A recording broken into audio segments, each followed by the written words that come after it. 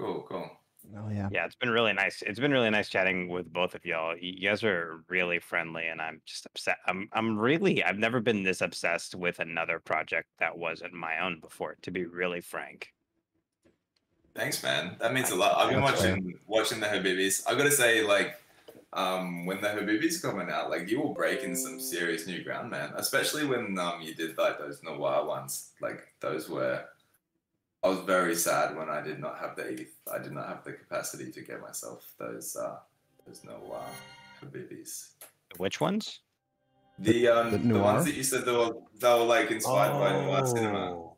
And Oh, was, like, yeah, those with, are like cool. the yeah, yeah, with the shadows over the face and stuff. Those are sick. Yo, if- if you like those, I'm trying not to spoil this, but I feel like I feel like I'm working on something with Orphan that's pretty that's pretty cool. It's like in the same vibe. You know what I mean, Orphan? yeah, Yeah. He's a playful fellow, Yeah, I do. often, but he's also very, very talented. Oh, I okay. gotta say, Thanks, man. Orphan, Orphan's a very talented dude.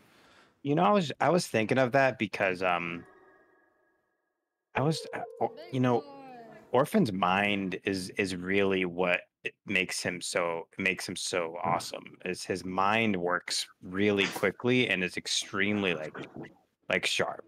And and I think some people, you know, is like, oh, he makes memes, but actually, like he, he's next. He's really next level. Like he can come up with ideas and he can prototype faster than anybody in the planet.